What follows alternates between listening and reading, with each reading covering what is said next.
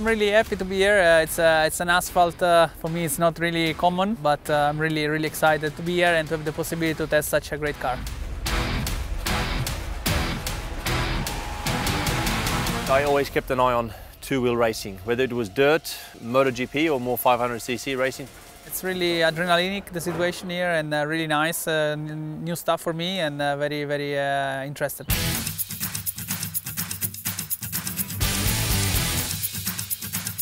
For Tony Cairoli, I think uh, that was the biggest challenge.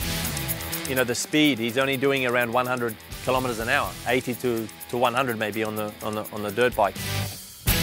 To come here, it's a big step because the vision, you have to look a long way ahead to do 290 kilometers an hour, to get used to the fast corners.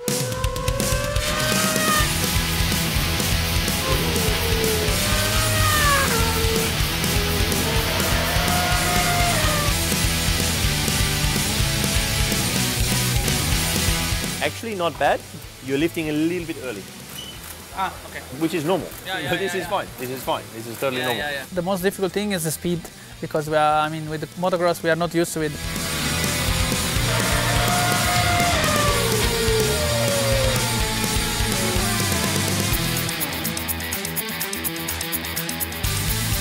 I like all of the all of the all of the main stops.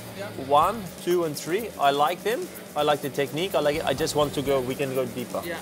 Tony is really not used to too many instructions, and motocross is much more of a raw sport, which is sensational. That's why a lot of people love it.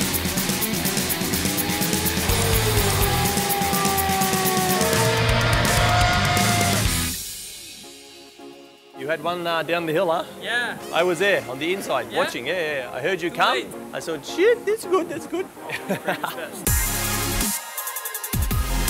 he was very relaxed, very cool, but you can see it was going in, and uh, then he went out and delivered.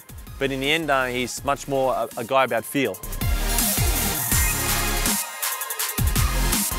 I didn't really crash the car, so this is really really important and uh, really enjoy the, the time here.